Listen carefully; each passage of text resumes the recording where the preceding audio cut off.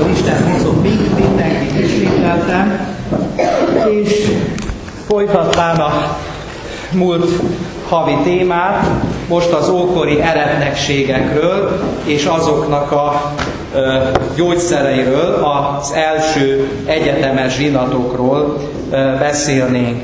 Ugye kereszténység alig, hogy átvészelte ugye a külső üldözéseknek a három évszázadát, és alig, hogy fölvérant ugye a szabadság napja, megjelent a sokkal alattomosabb és veszélyesebb belső veszély, ez pedig a tanításnak a kiüresítése az egyházon belül, illetve az evangélium Krisztusának, az apostol igehirdetés Krisztusának a lecserélése egy másik fantáziabeli, bizonyos ugye, ideológiák által kreált Krisztusára.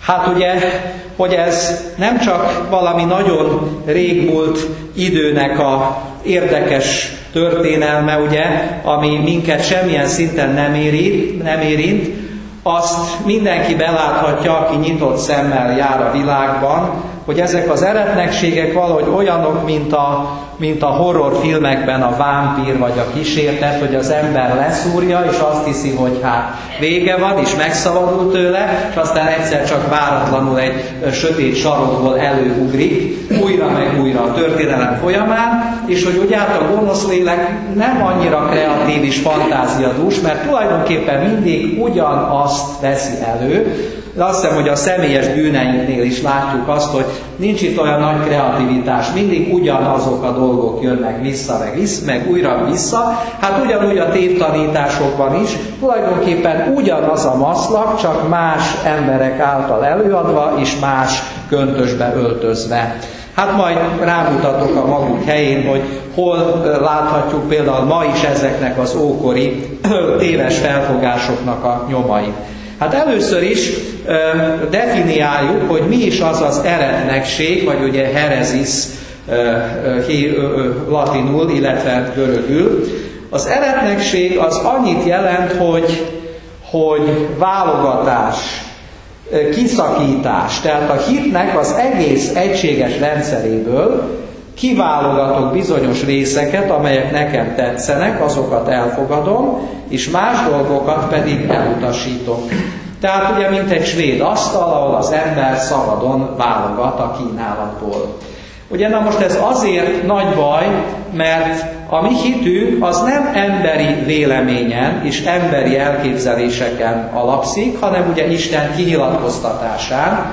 Tehát, hogyha én Isten igazmondását, szavahihetőségét bizonyos pontokon kétségbe vonom, akkor ez olyan, mintha az egészet elutasítanám. Tehát nem lehet azt mondani, hogy bizonyos dolgokat elfogadok, másokat nem, mert ez tulajdonképpen az én hitetlenségemet, az Isten iránti bizalmatlanságomat és elutasításomat fejezi ki. Tehát ez egy olyan csomag, amit vagy egészben kell elfogadni, vagy az egész összedől, mint egy kártyavár, hogyha kiúzok belőle egy kártyát valahonnan, ugye. Tehát az eretnekség az azt jelenti, hogy egyes hitigazságok elutasítása. Ugye, hogyha valaki az egész hitet ángok elutasítja, akkor ezt úgy hívjuk, hogy apostázia, vagy hittagadás. Ilyen is létezik, de most nem ez a témánk. Ugye az eretnekség az abból a szempontból, hogy a az eretnekséget hirdető milyen szándékkal vallja a tévtanítást, lehet ugye materiális, vagy lehet formális. A materiális az azt jelenti, hogy objektíve tévtanítást hirdet, de nem tudatosan és nem szándékosan. Ugye hát most manapság sajnos nagyon-nagyon rossz állapotban van a hitoktatásunk, és amikor egy e, hatodikos lány egyszer Szűz Máriát is a Szent Háromság személyei közé sorolta a mi iskolánkban, akkor ő ugye hát materiális eretnekséget hirdetett, mert ugye ez nyilván ellentmond a hit tanításának, de mivel, hogy nem az ő szándékos rossz akarata volt benne, ezért ugye nem róhatjuk ezt az ő lelkiismeretére, tehát, tehát nem számít neki bűnül. mert utána fölvilágosítottam, és akkor ugye elfogadta azt, hogy Szűz Mária már pedig nem tartozik a Szent Háromság személyei közé. A formális eretnekség az a nagyobb baj, mert ez azt jelenti, hogy valaki tudatosan és makacsul, hosszadalmasan kitart a tévtanításban, annak ellenére, hogy figyelmeztették, de ugye, tehát makacsul megáltalkodik ebben a téves fölfogásban. És ezt nyilvánosan teszi mindenki előtt, ugye, fölismerhető módon.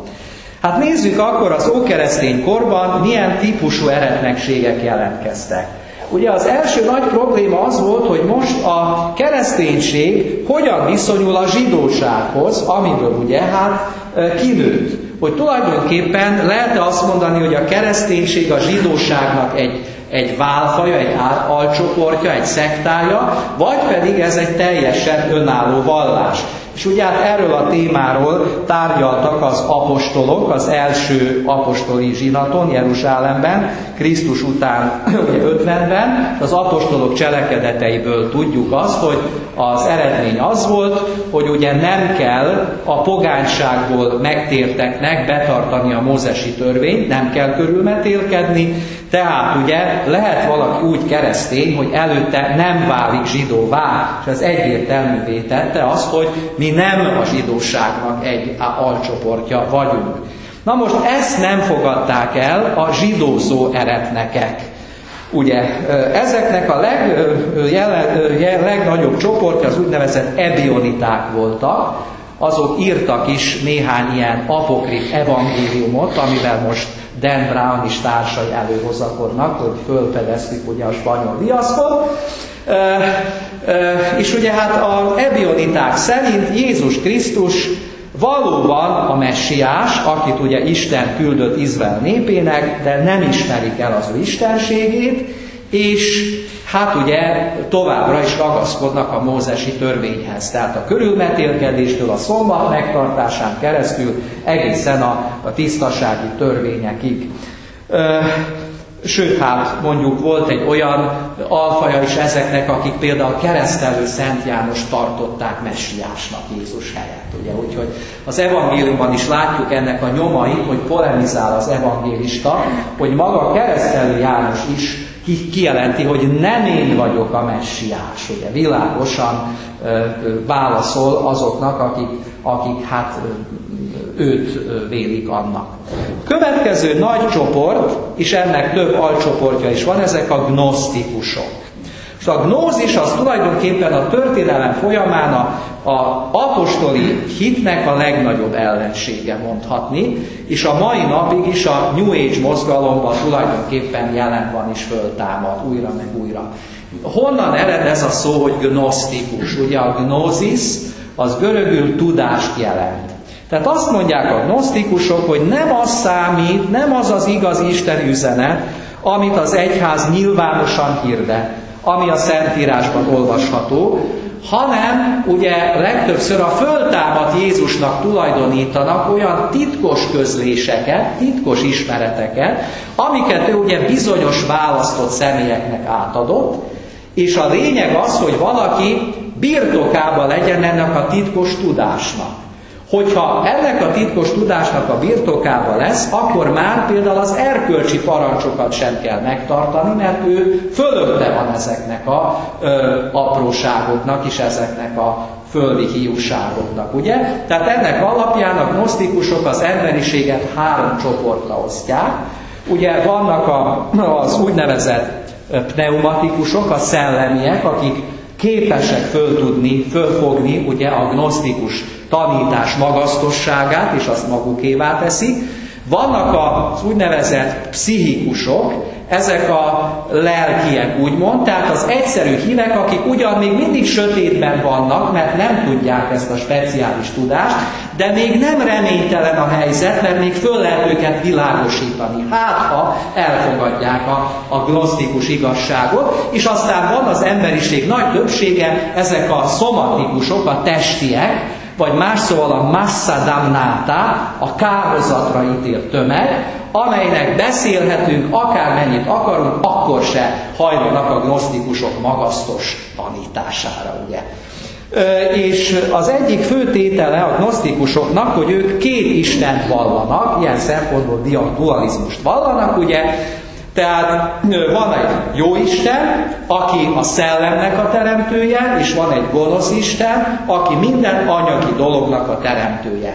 Tehát ebből kifolyólag az ugye Ószövetség Istene, akinek az legelső tette a világ teremtése, az a gonosz Isten. Nem azonos a mi sátánunkkal, tehát már a keresztény hit sátánjával, mert ugye a sátán az nem Isten az nem Istennel egyenlő rangú és egy, azonos szinten álló lény, hiszen a sátán teremtmény, ugye ő egy angyali lény, egy bukott angyal, tehát a jó és a rossz az nem két azonos súlyú principium. A rossz az ugye a jónak a hiánya tulajdonképpen. De a gnosztikusok szerint a gonosz is egy ugyanolyan léptel és ugyanolyan önállósággal és hatalommal rendelkező valóság, mint a jó. Na most ugye a, ebből kifolyólag, tehát a gnosztikusok szerint minden dolog, ami anyagi, az ugye gonosz, és az kiirtandó, elpusztítandó. Ebből kifolyólag például ők nem tudják azt elfogadni, hogy Jézus Krisztus valóban emberré lett, és emberi testet vett magára, és asszonytól született, mert ugye hát ez egy borzasztó degradáció lenne az ő számára. Tehát ők azt mondják, ez az úgynevezett dokétizmus, a dokea annyit jelent, hogy látszik. Tehát, hogy Jézusnak a földi teste, az ő halála, az ő föltámadása, az, hogy ő látszólag evett, ivott, aludt ezen a földön, az egy az egy színház. Mai szóval mondhatnám, hogy egy hologram. Tehát ő ezt úgy eljátszotta, de valójában ő egy szellemi lény volt, aki ezeken felül volt. És érdekes, hogy amikor Mohamed majd később azt fogja mondani, hogy Jézus Krisztus ugye az Allah profétája, és ugye hát nem őt feszítették keresztre, hanem valaki más helyette, és őt az Isten magához vette a keresztre feszítés elő, akkor tulajdonképpen ezekhez a dokétákhoz megy vissza, hogyha valaki Isten embere, proféta, pláne, hogyha mondjuk maga is isteni lény, hát akkor elképzelhetetlen, hogy ugye a testi halálnak alá legyen vetve. Ugye az evangéliumok azok világosan, még a föltámadt Jézusról is kimondják, hogy nézzétek a sebeimet, tapincsátok meg, van valami ennivalótok, tapincsátok meg a csontjaimat, a, a, a tagjaimat, hogy nem kísértet vagyok, ugye? Tehát ezt nagyon hangsúlyozzák a kánoni evangéliumok, hogy a dokétizmus az nem, nem az igazságot tartalmazza. Ugye, na most hát nézzük a gnosztikusok alcsoportjait. Az egyik leghíresebb a manikeizmus. Ugye a alapítójáról, Maniról kapta a nevét, aki azt állította magáról, hogy Buddha, Zaratusztra, Jézus után ő az utolsó legnagyobb proféta, ő a proféták pecsétje, egyébként Mohamed is ezt fogja mondani magáról, hogy ő a proféták pecsétje, és ugye az igaz gnózis, az igaz tudás hirdetője. Mani például az anyag ellenesség jegyében megtiltja a húsevést, tehát tulajdonképpen a középkorban a kataroknál, vagy albigenseknél ugyancsak megjelenik ez a gondolat, hogy az igazán szent embereknek azok hát tulajdonképpen éhen kéne halniuk. Mert el kell szakadni az anyagi eledeltől, ugye?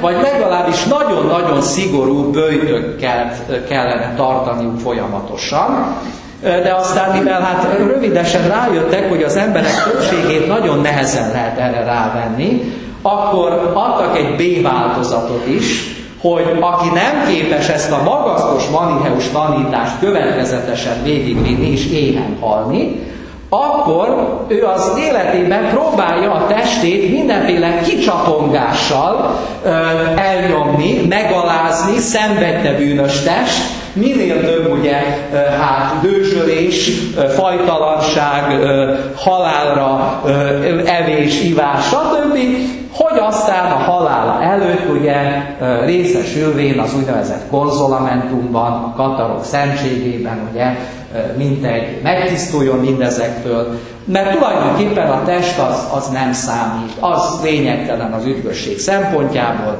tehát hogyha nem tudjuk asztézissal tönkretenni, akkor a másik szélsőségbe kell menni, a szélsőséges ugye, kicsapongásba. Tehát azért a szélsőségek valahol mindig találkoznak a, az egyik ö, póluson.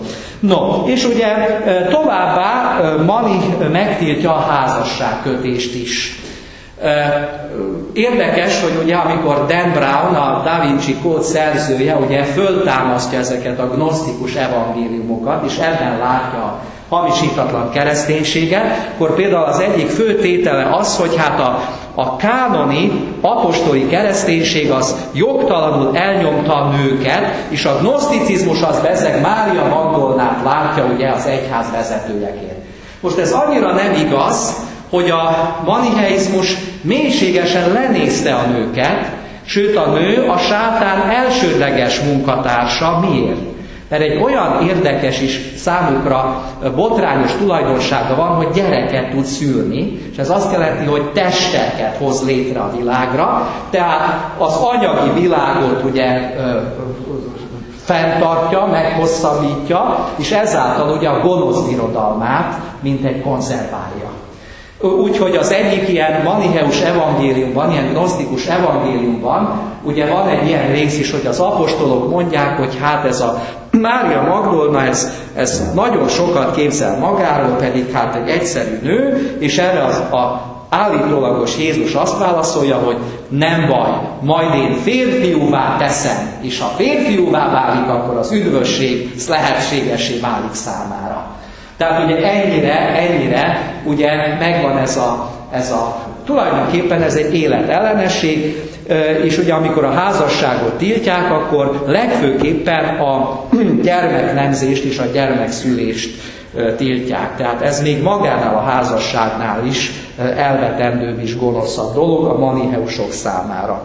Tehát egy alapvetően nagyon életellenes és nagyon emberellenes eretnekségről van szó, úgyhogy amikor egyes ilyen, ilyen ős magyarkodók azt mondják, hogy az tiszta ősi maniheus magyar vallás, akkor ugye gondoljanak bele, hogy tényleg ez lenne a magyarságnak az ősi hite, és ez az, ami megmenti a mi nemzetünket. Szóval nagyon alaposan ö, meg kell ezeket gondolni, mielőtt valaki ilyen fantáziákba bocsátkozik.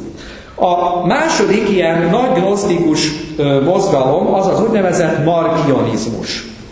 Ugye a ö, Markion az alapítója, aki egy püspöknek volt a fia, a szinópei püspöknek volt a fia. Ugye hát akkoriban tudjuk, hogy nős embereket is felszenteltek, ugye diakónussá, pappá, püspökké, és egyre inkább terjedt már az apostoli kortól az a gyakorlat, hogy a szentelés után már ugye nem éltek házas életet, tehát már nem születtek utána gyermekei, viszont nagyon sokan ugye a korábbi civil életükből hát gyermekekkel rendelkeztek, úgyhogy ez nem furcsa dolog, hogy egy püspöknek a fia, de annyira kihúzta a, a rövidebbet, hogy a saját apja közösítette ki a tévtanításai miatt. Mik voltak ezek a markionista tévtanítások? Hát ugye ő is ezt a vonalat ö, viszi, hogy az Ószövetség Istene az a gonosz Isten, az anyag teremtője, Jézusnak ugye a szellemnek az Istene, akinek látszatteste volt, és akinek semmi köze az Ószövetség Istenéhez. Tehát az Ószövetség úgy, ahogy van, a sátántól van, és elvetendő, sőt az evangéliumokból is tulajdonképpen csak Lukács evangéliuma és Pál levelei elfogadhatóak, azok se teljes egészében, az összes többi az torzulás, és azt meg kell tisztítani. Tehát kiadta a markionista, ugye válogatott evangéliumot, amiből a neki nem tetsző részeket kihagyta. Hát egyébként később Luther is csinált ilyeneket, de mondjuk ezt már korábban kitalálták. És nagyon érdekes, hogy Markionnál mindazok a ószövetségi alakok, amelyek pozitívnak vannak beállítva, azok gonoszak, és a gonosz alakok pozitívak. Például a kígyó az a markionizmusnak a nagy hőse, mert ő hozza az igazi tudást, a fölszabadító gnózist az emberiségnek, ugye. És aztán folyamatosan Markion azzal foglalkozik, hogy bebizonyítsa, hogy ez az Ószövetség Istene mennyire tudatlan, mennyire rossz indulatú, mennyire félrevezeti az embereket, mennyire önmagával is ellentmondásba kerül. Például itt van egy részlet az egyik ilyen művéből. Azt mondja, hogy a világteremtő nem is tudta, hogy hogy van Ádám, amikor így kiáltott, hol vagy. Milyen Isten az, aki nem tudja, hogy hol van Ádám. Viszont Krisztus az embereknek még a gondolatait is ismerte. Józsue erőszakkal és kegyetlenséggel hódította meg az országot, Krisztus azonban megtilt minden erőszakot, csak irgalmasságot és békét prédikál. A Teremtő Isten profétája Mózes, amikor a nép harcban áll, felmegy a hegy csúcsára, és kezeit Isten felé tárta, hogy lehetőleg sokakat öljön meg a csatában. A mi Urunk azonban a jóságos nem azért tárta szét a karjait a kereszten, hogy embert öljön, hanem hogy megváltsa őket. Tehát ugye nemrég is kezembe került egy ilyen kis füzetecske, szintén ez ilyen ősmagyarkodó csoportokból származik, ugye, ahol pontosan ezt csinálják, hogy a könyv első felében bizonyítják, hogy az Ószövetség Istene mennyire elvetemült, gonosz és rossz indulatú, és utána ugye persze szelektálva a Ószövetség legdurvább passzusai, utána a másik felében pedig hát a leg, hogy mondjam, humánusabb és leg, leg szentimentálisabb újszövetségi idézeteket kiválogatva próbálja bizonyítani, hogy Jézus Krisztus ennek a tökéletes ellentétetet, a kettő semmi köze egymáshoz, holott ugye hát az Úr Jézus maga is sokszor hivatkozik az Ószövetségre, ugye, az evangélisták is arról beszélnek, hogy most beteljesedett, amit a proféták mondtak, Ugye az Úr Jézus maga is mondja, hogy a törvényből egy íbetű vagy egy vesző nem fog elveszni, hanem minden beteljesedik. És hát nem is beszélve, hogy maga az Úr Jézus is, hát ugye hol mutatkozik be a nyilvánosság előtt a názareti zsinagógában, ahol ugye Izajás próféta tekercsét olvassa. Tehát ugye nem szabad, hogy, hogy ugye az ember elvakultan és egyoldalúan nézze ezeket a dolgokat, nem is beszélve, hogy hát a, ugye az Ószövetségnek nagyon sok ö, része az úgy beszél Istenről, úgynevezett antropomorfizmusokkal, tehát hogy emberi tulajdonságokat vetít ki rá, és, és ö, hogy mondjam, van egy, van egy haladás. Tehát az Úristen sokkal többet nyilatkoztatott ki Krisztus előtt száz évvel, mint mondjuk 2000 évvel korábban. Tehát van egy pedagógia, és folyamatosan egyre világosabbá válik az a tiszta, kinyilatkoztatós tanítás, és egyre kevesebb az olyan zavaros rész, ami az emberi szerzőnek a korlátait tükrözi. De hát ez egy külön téma lehetne, hogy a Szentírás hiteles ugye, értelmezése. No, tehát ez a markionizmus, és utána van egy úgynevezett montanizmus, az alapítójára Montanusról kapta a nevét. Egyfajta ilyen ős karizmatikusoknak mondhatók a montanisták. A Montanus azt mondja, hogy ö, ő általa nyilvánul meg a paraklétosz, a vigasztaló, illetve később már nem csak ő általa, hanem a két profétanője, a Priscilla és a Maximilla által. És ezek a profétanők ugye kellő révületbe kerülve elkezdenek ugye profétálni, és mindig így kezdik, hogy én vagyok a paraklétosz, én vagyok a vigasztaló. Tehát a Szentlélek szócsöveiként mutatkoznak be, és ugye azt hirdetik, hogy közel a világ vége, és Krisztus ezer éves földi birodalma, ahol Krisztus látható formában fog ugye uralkodni itt a Földön. Aztán ugye a Szentlélek korszakát nyitja meg Montánosz, És éppen ezért erre az új korszakra hogyan kell készülni? Szigorú bőjtel, a nem élet teljes mellőzésével, még házasok számára is, készülni kell a vértanúságra, és ugye nagyon-nagyon ellenzi Montános azt, hogy akik ugye a keresztény üldözésben hittagadók lettek, azokat bármilyen formában is, bármikor is visszafogadják az egyházba, még ha bűnbánatot tartottak, akkor sem. Ugye ez egy nagy vita volt, hogy sokan, akik ugye hát elbuktak és dengének bizonyultak, az üldözések során később ugye bűnbánatot tartottak, és próbálnak visszakerülni az egyházba, és egész komoly hát szakadások történnek akkor hogy egyáltalán szó, lehet-e velük szóba állni, lehet-e őket legalább, ha más nem, akkor halálos ágyukon visszafogadni, lehet-e mondjuk, hogyha valaki kétszer is elbűnik, kétszer is ugye bűnbocsánatban részesíteni, és hát Montános annak a extrém véleménynek a szószólója, hogy semmilyen szinten és soha semmilyen módon nincs bocsánat erre a bűnre. Akármilyen is legyen a bűnbánat. No, szóval Montánosznak akkora, akkora sikere volt, hogy Rómában, Észak-Afrikában is nagyon elterjedtek az eszméi, és egy időben a kisázsiai Tiatira város lakossága az utolsó szálig is mondta, montanista volt, egy egész évszázadon át. Ugye ezt a ottani sírfeliratok is bizonyítják, tehát nagyon-nagyon, hogy mondjam, a nép kapható volt ezekre a ö, karizmatikus, extatikus megnyilvánulásokra. No, hát röviden ennyi a, a gnosztikusokról. Ellenben a következő nagyon fontos ugye, csoport a Szent Háromságtani eretnekségek voltak, mert ugye ezek az eretnekek provokálták ki az egyházból azt, hogy pontosan megfogalmazza a maga hitét tételesen, ugye a zsinatokon összeülve a korabeli filozófia segítségével, tehát precízen megfogalmazza, hogy mit is val a keresztény egyház az apostoli hit alapján, mi a viszonya, viszony az Atya, a Fiú és a Szentlélek között. Ugye ez a probléma.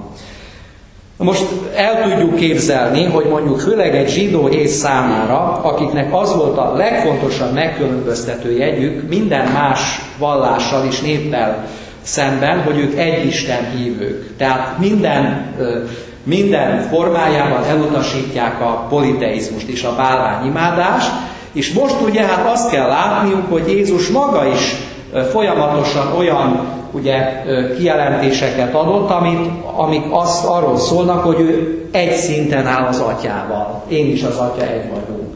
Mielőtt Ábrahám lett volna, én vagyok illetve valahányszor azt mondja, hogy én vagyok, tulajdonképpen utal a csipkebokor jelenetére, ahol ugye az Isten úgy mutatkozik be, hogy én vagyok, aki vagyok. Tehát tulajdonképpen ugye azonos szintre helyezi magát azzal, aki ott a csipkebokorban szólt. És ugye nagyon nehéz volt ezt így elfogadni, úgyhogy a következő próbálkozások születtek. Az első az úgynevezett subordinacionizmus. Ugye a szub azt jelenti, hogy alá, az ordináció az pedig ugye ö, ö, rendelés. Tehát ugye a fiú alá van rendelve az atyának, mint egy másodisten. Ennek a képviselője egy Teodótos nevű teológus volt. Tehát tulajdonképpen csak az atya a valódi, teljes értelembe vett Isten, a fiú már nem. Aztán a másik próbálkozás az az úgynevezett modalizmus. Ugye Isten egyetlen egy Isten, de három módusban, három módon van jelen, vagy azt is lehet mondani, hogy három szerepben. Tehát, amikor megteremti a világot, akkor az atya szerepébe bújik, amikor megszületik a Földön és megváltja a világot, akkor ugyanaz az egyisteni személy a fiú szerepébe bújik, és amikor pünköskor eljön, akkor ugyanaz az egy személy, ugye a Szentlélek szerepébe van jelen. Ezt egy Szabeliosz nevű úriember hirdette, és mivel ugye logikailag akkor ez következik ebből, a, ebből az elméletből, hogy aki a kereszten szenvedett, az tulajdonképpen az Atya Isten. Csak állarcot viselt, ugye? Ezért mondják, hogy ez, ez a ez a tanítás patripassionizmus, tehát a páter az atya passiója, az atya az, aki szenved a kereszten.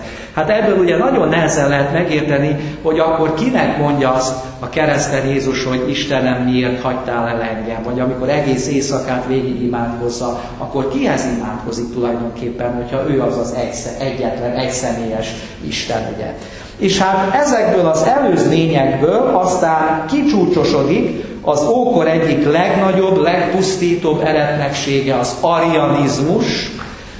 Ugye Áriusztól kapta a nevét, aki egy alexandriai pap volt, és ugye hát ő úgy próbálta föloldani a kereszténység és a görög filozófia, illetve a zsidóság közti ellentétet, hogy azt mondta, hogy ugye csak az Atya az igazi Isten, a fiú nem Isten, hanem csupán a legkiválóbb teremtmény. Mondjuk a legkiválóbb angyal, illetve az a teremtmény, aki által Isten az összes többi teremtményt létrehozta. Úgynevezett Démiurgos, ezt így nevezték ugye a, akkoriban a görögök, tehát az a teremtmény, aki ugye megteremti a többi teremtményt, de fölötte van egy nem teremtett ö, atya, vagy egy nem teremtett Isten. Nos hát ugye a, ö, arianizmus az rettenetesen ugye terjedt, és gyakorlatilag hát a több mint egy évszázadig uralta az egyházat olyan szinten, hogy alig volt néhány püspök, aki távol tartotta magát az arianizmustól. Szent Jeromos mondta azt, hogy a világ egyszer csak fölébred, és döbbenve vette, részre, vette észre magáról, hogy ariánussá változott. És ami hát még rosszabb, hogy ebben később majd beleszól a politika is, hogy tudnélik a római császár is ugye Nagy Konstantin, amikor keresztényé vált, akkor ő nem, nem boncolta túlságosan mélyen a teológiai kérdéseket. Ő neki ugye volt egy nagy vallási élménye, látta a kereszténységben azt a potenciált, ami, ami hát egyesítheti, nagyját teheti a római birodalmat, és ő amellé a frakció mellé állt, akinek több követője volt, és ami ugye biztosított, jobban látszotta biztosítani a birodalom egységét. Úgyhogy eleinte úgy tűnt, hogy hát az igaz hit az győzedelmes, az azonnal győzedelmeskedik, Úgyhogy ugye 325-ben összejön a níceai első egyetemes zsinat, ugye Nagy Konstantin védnöksége alatt, Nagy Konstantin palotájába, ugye főleg keleti püspökök vannak jelen, a pápa csak a képviselői által van jelen, és ugye ez az első egyetemes níciai zsinat kimondja azt a döntő szót, amit mi is most a hiszekekben imádkoztunk, hogy az atyával egy lényegű,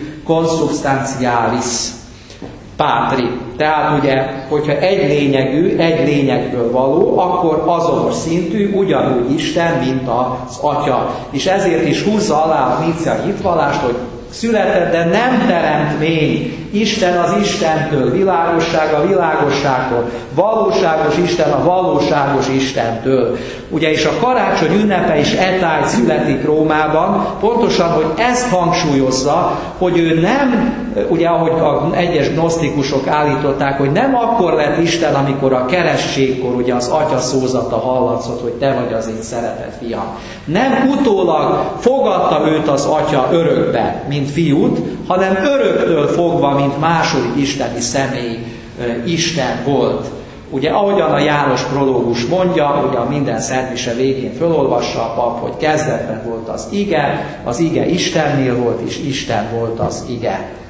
Ugye? Egyébként a modernkori egyik ariánus mozgalmat azt úgy nevezik, hogy Jehova tanúi. Ugye? Tehát ők magyarán ariánusok, mert mit Mit vallanak Jézus Krisztusról? Azonosítják Szent Mihály arkangyallal, azt mondják, hogy ő ugye a legkiválóbb teremtmény, de ugye még a Szentírást is módosítják, a János prológust ők úgy fordítják, az új világ fordításban, hogy kezdetben volt az ige, és az ige Isteni volt.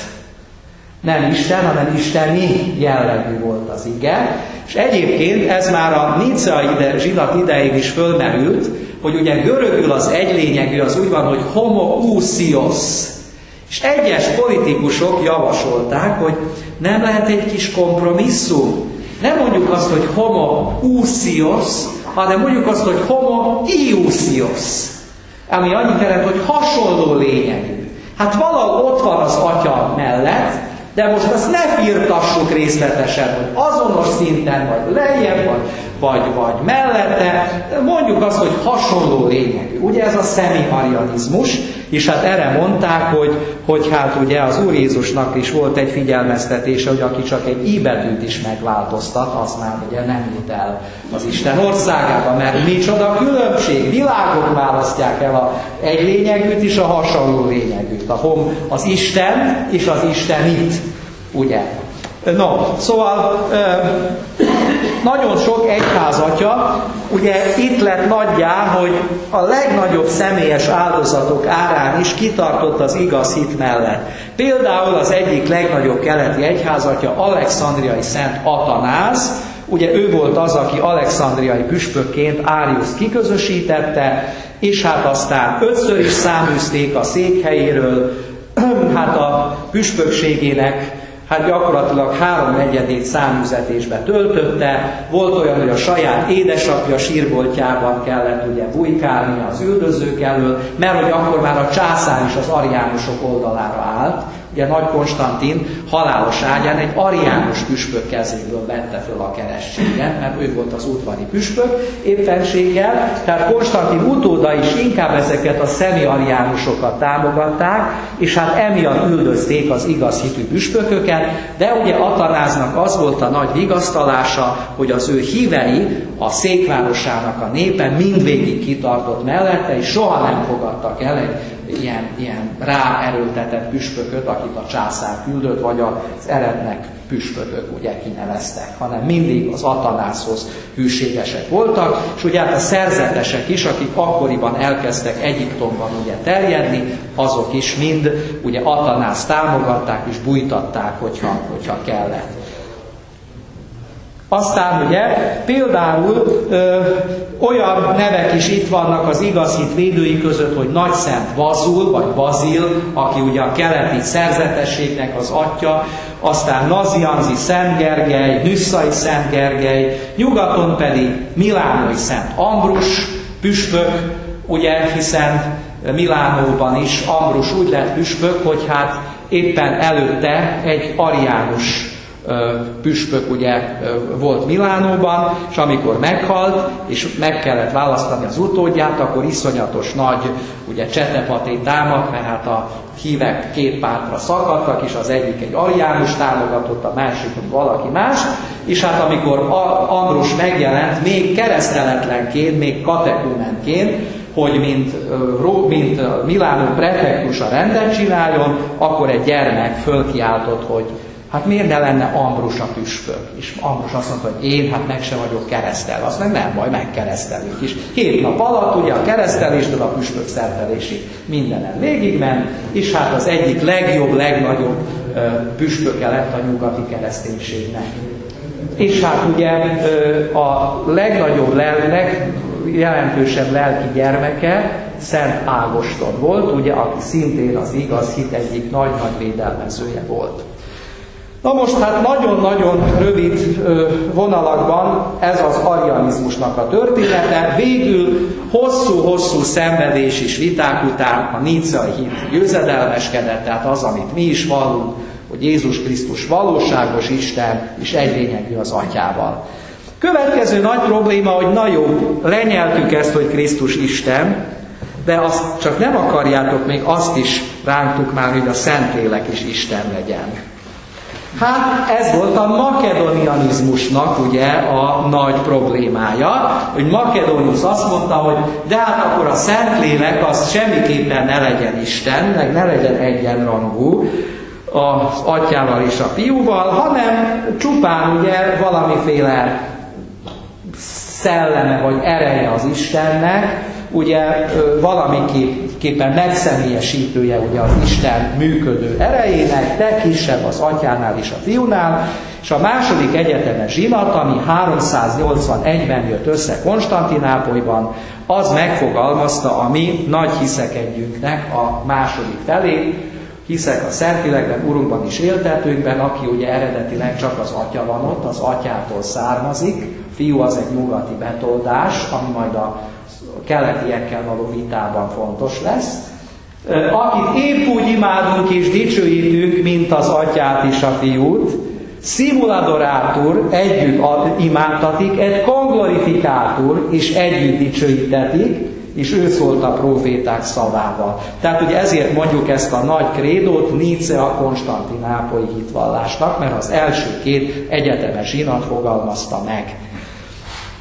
Ugye, tehát, tehát semmiképpen nem igaz az, amit ezek a Dan Brown féle modern ugye, proféták hirdetnek, hogy nagy Konstantin ugye Isten csinált Jézus Krisztusból is a nicai zsinaton rátukmálta a zsinati atyákra az ő akaratát, és ugye hát ilyen módon próbál politikai érdekből egységet teremteni, mert ahogy az előbb mondtam, hogy Nagy Konstantin maga is az élete végén az arianizmusba ugye csúszott, és, és hát éppen, hogy ő meg főleg az utódai aztán üldözték is az igaz hitű püspököket, tehát ez a Konstantin császár ellenében győzedelmeskedett Krisztus istenségőletet hit, és nem az ő ugye hatására. Na aztán itt vannak az úgynevezett krisztológiai eretnekségek. Tisztáztuk a Szent Háromság személyeinek az egymás közötti viszonyát. Na de hát most mi a helyzet Jézus Krisztus személyével? Most Isten volt, vagy ember, vagy félisten, félember. Tehát hogy van ez a két természet, ugye, Jézus Krisztusban? Hogy, hogy egyezik? No, az első, ugye, amiről már beszéltünk a zsidózók kapcsán is, hogy ott voltak a dokéták, akik azt mondták, hogy nem, Jézus Krisztus semmilyen szinten nem volt ember, minden, ami embernek látszott benne, az egy színjáték volt, az egy látsz, látszat volt csupán, a legtöbb dokéta nem tartotta őt Istennek sem, hanem csupán egy ilyen magasztos szellemnek, tehát hasonlóan, mint az ariánusok. De olyan szellem, aki hát ugye hát semmilyen módon nem érintkezett az anyaggal, mert a dokéták is ugye egy kicsit a gnosztikus hatására, gnoszticizmus hatására ugye úgy vélik, hogy a, a szellem, az emberi lélek például az büntetésből került a testbe, Ugye ez a platonista filozófiának is egy, egy következménye, hogy ugye Platon azt mondja, hogy a, a test a lélek börtöne, és a léleknek az igazi vágya, hogy minél előbb kiszabaduljon ebből a börtönből, és egyesüljön a szellemmel, ugye, az istenséggel. Hát ezek a az előbbi gnosztikusok, illetve itt a dokéták is úgy vélték, hogy tehát az egy bukás, az egy visszaesés lenne, hogyha egy szellemi lény lesz és testet lesz magára, vagy bármi módon érintkezik az anyaggal. A következő tévedés az úgynevezett apollinarizmus, vagyis apollináris püspök azt állította, hogy jó, Jézusnak volt emberi teste, de nem volt benne, nem volt neki emberi lelke, hanem a lélek helyét ugye a második isteni személy, az ige, a logosz foglalta el. Tehát volt egy második isteni személy, és volt egy test, ami valahogy hozzá kapcsolódott a második isteni személyhez. Tehát mint a legó kockát, hogy valahogy föl kell építeni Jézus Krisztust. Na most ebben mi a probléma? Hát látszólag ad egy magyarázatot, de az a probléma, hogyha valakinek nincs emberi lelke, akkor nevezhetjük őt valóságos embernek, igazi embernek. Hát nem.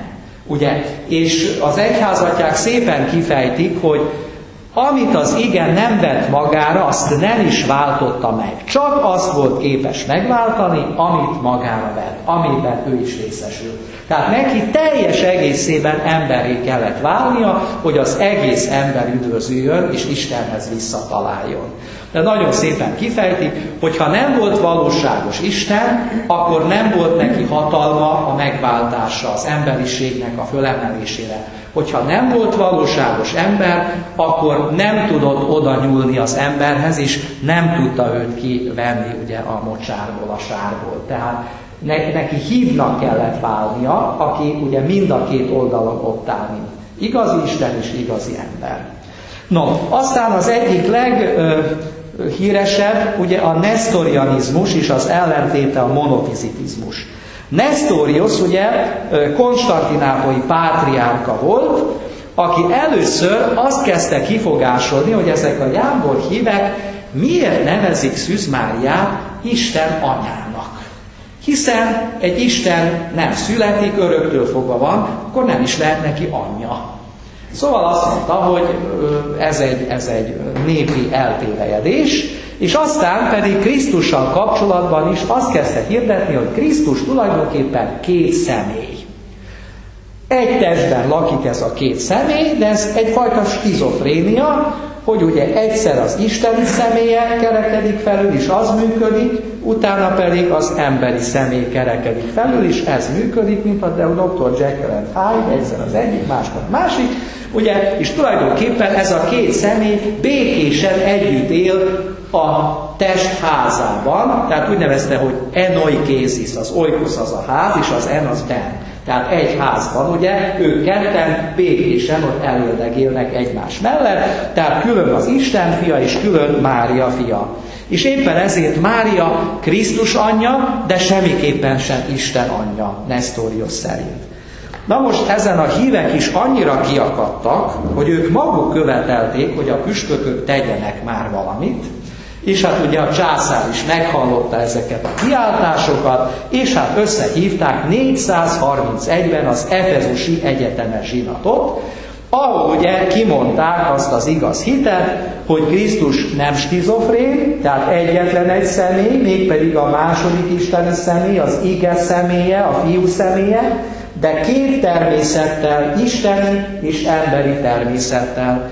És azt is mondták, hogy Mária Isten anya, nem azért, mert hogy ő adta volna az istenséget, tehát az isteni természet nem tőle származik, tőle csak az emberi természet származik, de az a személy, akit Mária világra hozott, az ugyanakkor Isten is, nem csak ember, tehát ezért nevezhetjük Máriát Isten anyának is.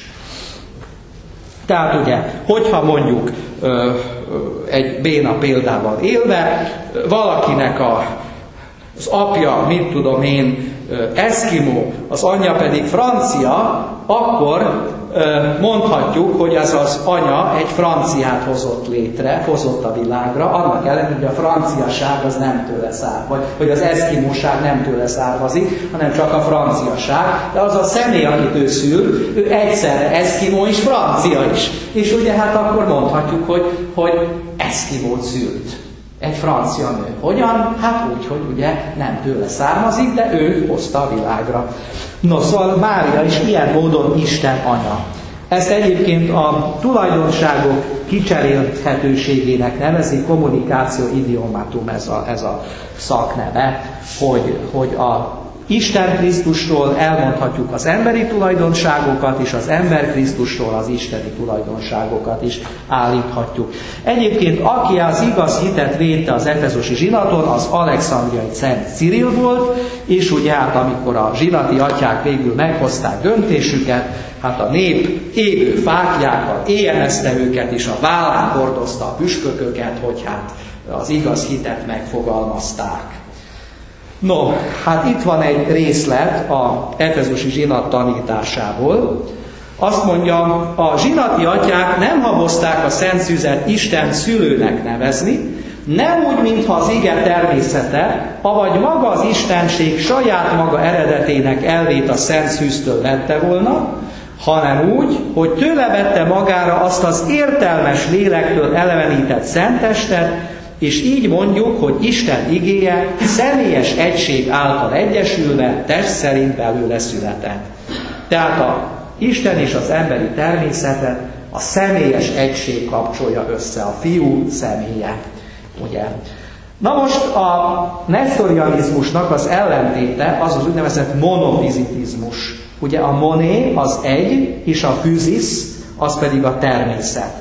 Tehát ugye egy Eutüchész nevű konstantinápolyi apát azt kezdte hirdetni, hogy nem, nem, nem, nem, nem, ez így nem lesz jó, túlságosan nagy szerepet kap itt az emberség, hanem mondjuk úgy, hogy Krisztus istensége úgy magába szippantotta az ő emberségét, mint ahogy a tenger magába szippantja a csepp amit ugye a óceánba ejtünk. Tehát gyakorlatilag elnyerte Krisztus istensége az emberséget, és innentől kezdve Krisztust csak Istennek nevezhetjük, kizárólag ugye. Tehát egy természet van benne, isteni természet. Na most itt megint csak nagy-nagy vita támad, természetesen a politika is, is beavatkozott. A püspökök összejöttek Efezusban 449-ben, és jóvá hagyták ezt a tévedést, hogy Krisztus csak isteni természettel rendelkezik. Ezért nevezték utólag ezt az efezusi zsinatot rablózsinatnak, latrocinium efezinum, tehát voltak a történelem folyamán rabló amelyekről utólag kimondták, hogy az eretnekséget támogatták, és ezért nem számítanak egyetemes zsinatnak. Ellenben 451-ben összehívták Kalkedonban az igazi egyetemes zsinatot, ami ugye kimondta, hogy Krisztus egy személy két természetben, és aki ezt a kimondást elősegítette, az nem más volt, mint Nagyszent Leó pápa, aki egy dogmatikai levelet küldött a zsinati atyáknak, és amikor fölolvasták a zsinaton a pápa levelét, akkor mindenkinek elesett az álla, elhallgattak a viták, és egy szóval a zsinati atyák azt mondták, hogy Péter szólt Leoszája által. A vita el van rendezve. Hát mit mondott a kalkedoni zsinat? Megint egy ilyen dogmatikai megfogalmazás. A szentatyák nyomdokait követve minnyáján egy szívvel, szájjal valljuk és tanítjuk, hogy a mi Urunk Jézus Krisztus egy is ugyanaz a fiú, ugyanő tökéletes az Istenségben és tökéletes az emberségben. Ugyanő az atyával egy lényegű istensége szerint, és velünk egy lényegű embersége szerint minden szempontból hasonló hozzánk a bűnt kivéve. Egy is ugyanazon egyszülött fiú, Úr Krisztust kell vallani két természetben, és ez egy híres megfogalmazás, hogy a két természet össze nem elegyítve, változtathatatlanul, meg nem osztva, szétválaszthatatlanul. Anélkül, hogy az egyesülés által a két természet különbözősége bármi módon eltűnni, hanem inkább úgy, hogy mindkét természet sajátossága épségben maradjon, amelyek egy személyé kapcsolódnak össze. Tehát a két természet nem turmixolódott össze, nem kavarodott össze, mindegyik a maga, maga szabályai szerint működött, és mégis ugye egyetlen egy szeméről van szó, aki egyszerre valóságos Isten és valóságos ember. És ez szétválaszthatatlan, tehát nehogy valaki azt gondolja, hogy amikor Krisztus föltámadt és fölment a mennybe, hogy az ő emberi természetét, mint egy piszkos munkaruhát itt hagyta volna a földön. Nem, magával vitte a mennybe, és Krisztus ma is, amikor ott ül az Atya jobbján, valóságos Isten és valóságos ember. Tehát ott van az ő megdicsőült emberi teste, lelke, istensége és embersége egyaránt. No, egyébként zárójelben hozzáteszem, hogy a, a nestorianizmusnak és a monofizitizmusnak nem lett teljesen vége az Efezus, illetve a Kalkeroni zsinat után, hanem például a koptok, azok ugye monofiziták lettek. És Szíriában pedig nestoriánus egyházak voltak. Na most a utóbbi évtizedekben ö, születtek bizonyos ilyen, ilyen közös nyilatkozatok, megegyezések, amelyek tulajdonképpen hát azt próbálják bizonyítani, hogy ugyan azt hiszik ők is, mint mi, csak más szavakkal fejezik ki. Hát most, hogy ez mennyire hatékony, nem tudom. Lényeg az, hogy, hogy általában úgy beszélnek ezekről, mint ugye a prekalcedoni keresztényekről. Tehát a, a, a ortodoxok például nincsenek velük teljes közösségben, pontosan ezért, mert ugye még a monofizitizmus, illetve másik oldalon Szíriában nesztorianizmus nyomait látják még mindig bennük. No, egyébként tényleg azért a földrajzi távolság és a kommunikáció hiánya miatt nagyon sok esetben ugye tényleg, tényleg megfogalmazásbeli problémák is voltak, ugye nem mindenki értett a görög szavakon ugyanazt, hogy mi a személy, mi a természet, stb. Tehát lehet, hogy ilyen valami volt, de lényeg az, hogy a egyetemes zsinatok tisztán megfogalmazták az apostolok hitét. És aztán még egy utolsó krisztológiai probléma, ez az úgynevezett monotelétizmus. Ez egy eretnekség. A mono, egy, telos, az ugye akarat. Tehát azt mondták a monoteléták, hogy Krisztusnak csak egyetlen egy akarata van a megtestesülés után. De hát akkor ugye hogy van az, hogy ugye az olajfák hegyén azt mondja Jézus, hogy Atyám, a lehetséges, múljék el tőlem ez a kehely, de ne az én akaratom legyen, hanem a tiéd. Tehát akkor volt neki egy emberi akarata is, ami különbözött az isteni akarattól. És ezért fogalmazta meg a harmadik konstantinápolyi zsinat 680-ban, hogy Krisztusnak két akarata van, egy isteni és egy emberi akarat, azzal, hogy az emberi akarat a sohasem lázad, hanem mindig ugye bele illeszkedik és, és egyesül teljes egészében az isteni akarattal. Ugye, de két akarata van, ahogyan két természete van, Isten is emberi. Tehát mi duoteliták vagyunk mert két akaratot vallunk Krisztusban. És ezt a harmadik konstantinápolyi zsinatot, ami 680-ban volt, úgy is nevezik, hogy trulloszi zsinat, mert ugye a, a császári palota kupolás termében, a trulloszos, trullosz az a kupola, tehát a kupolás termében tartották. És végül hát a, ö, még egy típusú eretnekség, a kegyelemtani eretnekségek, ami hát a bűnnel és a kegyelemmel foglalkozik, és ugye főleg Szent Ágoston volt, aki ezekkel szembeszállt, ezek az úgynevezett pelagiánusok. A Pelágiusról kapták a nevüket, aki azt állította, hogy az eredeti bűn tulajdonképpen csak egy rossz példa. Tehát senki se születik eredeti bűnnel, hanem ugye teljesen ártatlanként születik, sértetlen emberi természettel, de hát ugye az Ádám és az Éva bűne az egy olyan rossz példát hagyott a világban, amit az emberek egyszerűen lemásolnak, leutároznak, de mindenkinek megvan a lehetősége, hogy ugye észhez kapjon, és ne kövesse ezt a rossz példát. Tehát az ember Isten kegyelme nélkül csak saját erejéből lehet jó, és lehetnek olyan tettei, amik alapján üdvözülhet. Akkor is, hogyha Isten egyáltalán nem segít. Ugye hát ez a pelagianizmusnak a legdurvább változata, aztán voltak ugye szemei pelagiánusok is, egy lájkos változata a dolognak, de hát lényeg az, hogy Szent Ágoston és ugye a pelagiánusok éppen ezért azt mondták, hogy nem kell a csecsemőket megkeresztelni, mert nincs semmiféle eredeti bűn, amit el kéne törölni.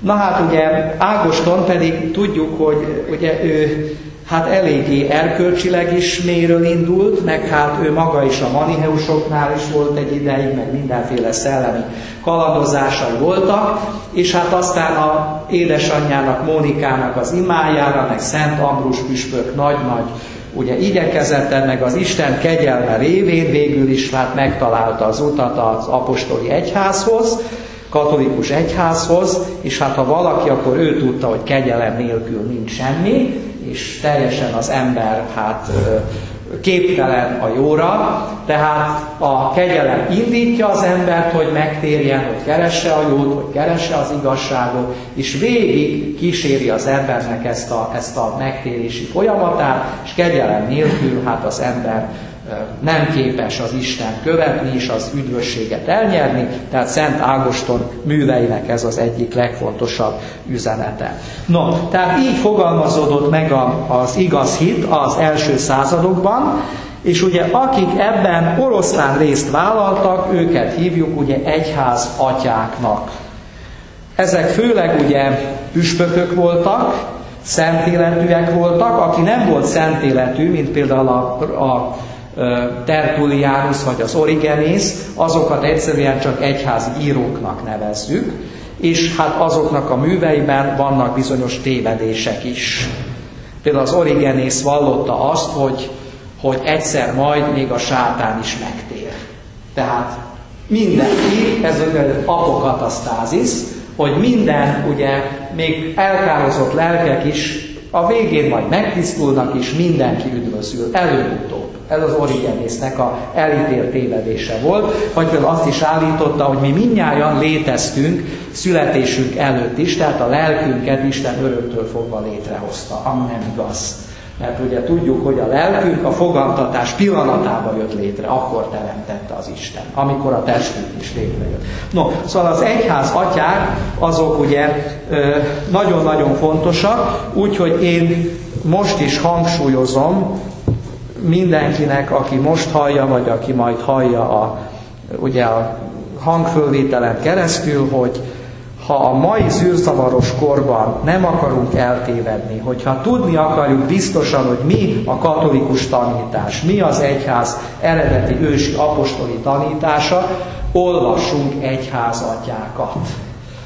Magyarul is megvan sok minden, ugye hál' Istennek én is a tanítványa lehettem, Vanyó László professzor úrnak, aki egy kiváló szakember volt, ugye, és hát szinte az, gyakorlatilag az egész életét ugye az egyház atyák fordításának szentelte, úgyhogy itt van az ő nevével tényedzett sorozat, Ókeresztény írók. Ez az első kötet, ami tan anyagunk volt nekünk a teológián, aztán a többi kötet az pedig tényleges egyházatyáknak a műveiből áll. Nálunk a rendházban 17 kötet van, lehet, hogy azóta több is megjelent, tehát ez egy olyan sorozat, amit nagyon ajánlok mindenkinek. Vagy például szintén a Vanyó professzor és a tanítványai gondozásában a Ókeresztény örökségünk című sorozat. Az is nagyon jó prédikációkat tartalmaz egyházatyáktól, illetve még a zsinat előtti időből szintén egy 17 vagy 20 kötetes sorozat a keresztény remekírók.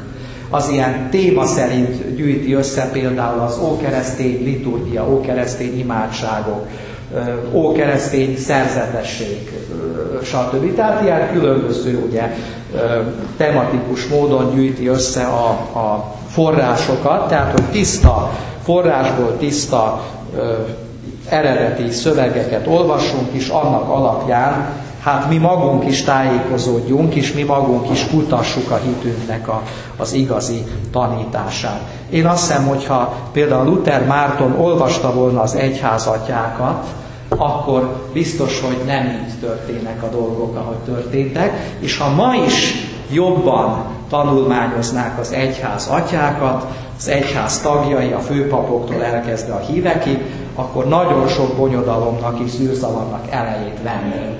Úgyhogy, tehát ha valaki nem tudja, hogy hol találjon okos és bölcs és olvasásra érdemes irodalmat, én mindig azt mondom és aláhúzom ötször, hogy egyház atyák. Minden mennyiségben. És lehetőleg szenté avatott egyházatyák, mert ezen az úton nem tudunk eltévedni. No, hát nagyon szépen köszönöm a kedves figyelmet, és hát akkor egy rövid imával zárjuk. Dicsőség az atyának, a fiúnak és a szent léleknek,